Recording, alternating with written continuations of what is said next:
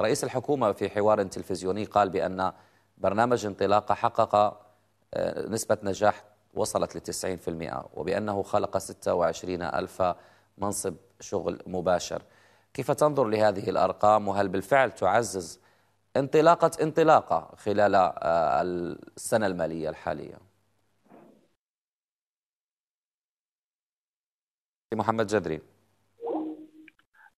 فيما يتعلق ببرنامج آه، انطلاقة يعني في هذه الثلاث سنوات الأخيرة أعتقد بأن يعني المبادرة جات يعني مبادرة اللي هي مبادرة جيدة مبادرة جيدة بحيث أنها يعني كان الهدف منها هو أننا نعطيو واحد الفرصة لواحد المجموعة من الشباب اللي ما عندهمش امكانيه الولوج إلى آه، التمويل البنكي عن طريق إحداث واحد البرنامج جديد بنسب ديال ديال آه، الفائده اللي هي نسبيه قليلة. تتعلق بالشباب القروي وكذلك الشباب الحضري.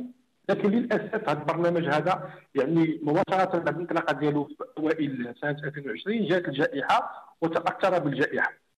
هذا لا يمنع بأن يعني هاد الشباب يعني مجموعة من الشباب المغاربة اللي هما استفدوا من هذا البرنامج هذا يعني تمكنوا أنهم يأخذوا واحد المجموعه من القروض اللي هي قروض إما صغيرة متوسطة اللي كتصح المليون ديال ديال الدرهم. ولكن للأسف اللي وقع في البرنامج هذا وذا كان جاء عن طريق يعني التصريح ديال السيد والي بكر المغرب هو أن كان مشكل كبير ديال المواكبة وديال يعني لاكومبانيمون ديال هاد الشباب هادو عن طريق البرامج ديالهم بحيث أن ماشي أي شاب مغربي اللي عنده واحد الفكرة مقاولاتية أو عنده واحد المشروع اللي باغي يعمل به هو مؤهل إلى إنشاء واحد المقاولة. وهنا كيوقع المشكل بحيث أن اليوم يعني خاص هذه المراكز الجهوية للاستثمار خاص هذه الوكالة الوطنية للتشغيل وتنعيش كفاءات كفاءات خاص هذه لي بلاتفورم اللي كاينين أو نيفو ديال كاع العمليات الأقل من المملكة تلعب الدور ديالها في مواكبة ومتابعة هاد الشباب هادو باش انه يكون عندهم واحد الحس مقاولاتي وكذلك باش يتعلموا كيفاش يسيروا واحد المقاوله